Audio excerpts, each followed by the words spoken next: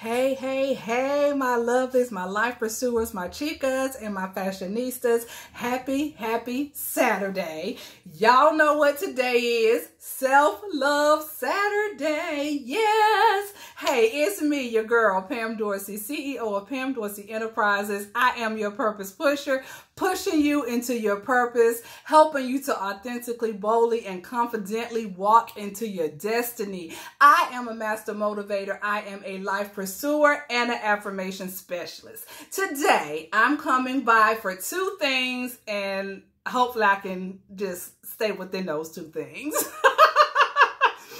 All right, self love Saturday. Yes, y'all know I'm big on self love, but Self Love Saturdays around Pam Dorsey Enterprises world. Y'all know every Saturday I put out my post about the Self Love Saturday selfie, right? I want to see your beautiful faces flooding my timeline using the hashtag Self Love Saturday selfie. So I am asking you to do that for me today, but I want to go a little deeper into why I'm asking that. And I want to make it plain and perfectly clear that I understand self-love goes way deeper than just a selfie, right? Anybody can flash a selfie, but that don't mean you love yourself. It's just a picture, right? But I go a little deeper into the realm of self-love. And let me tell you why. I heard a um powerful um comment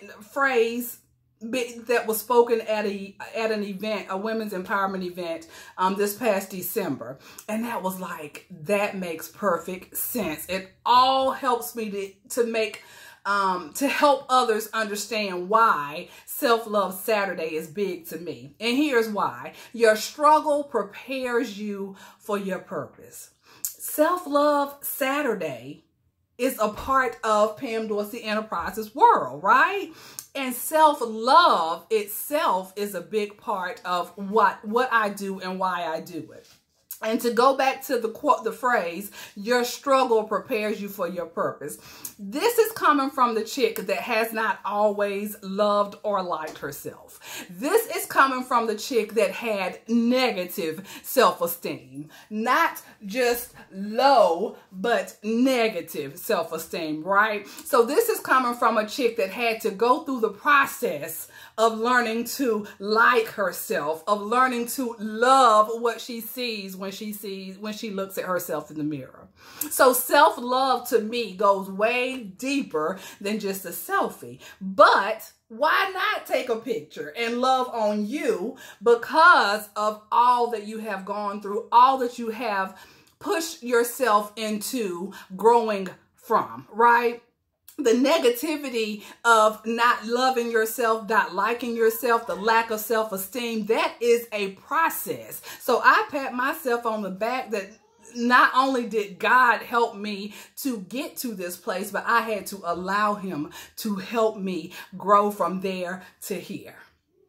So that in a nutshell is a big part, a big reason why I every Saturday you're going to hear me talk about self-love Saturday selfies. But again, it goes way deeper than just a selfie. Self-love means I love all of me, flaws and all right? Not just the parts of me that I think are great, but all of me. Fabulously flawed, right? Self-love is... Get, your butt out of here. Self-love is indeed the best love. I can't give out to anyone anything that I have not first given to Pam. Yes. So that that in, in its own is why I'm big on self-love because I haven't always loved this chocolate child. Point number one. Number two, I'm going to jump to my next subject because Gavin and Grandma doing something they probably shouldn't be doing and I got to go check on them, okay? Point number two, y'all hear me daily daily affirmations, right? Girl, you better affirm yourself. And if you don't have the ebook, please get a copy in your hands. Thank you in advance.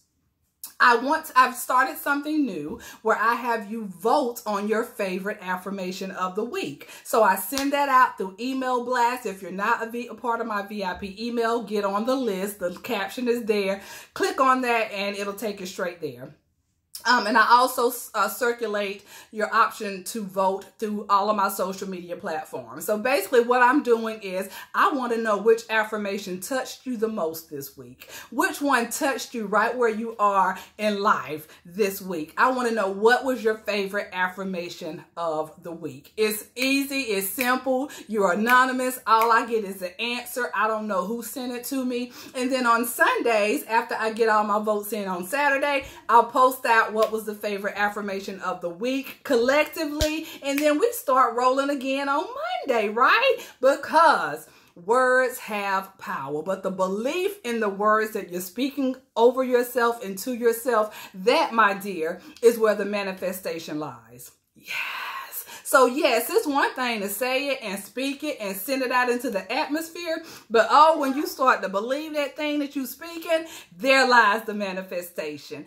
That's when you begin to speak your life into existence. Yes, honey. That is when life begins. Yes, honey. I love it.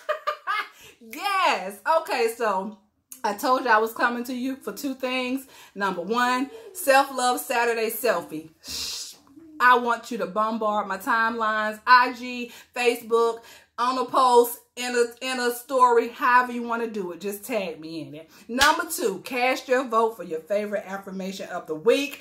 I'm your girl, Pam Dorsey, CEO of Pam Dorsey Enterprises. I want you to enjoy a Saturday as fabulous as you are. Until next time, oh y'all, this twist out is doing all kinds of stuff today. Until next time, y'all, purple kisses.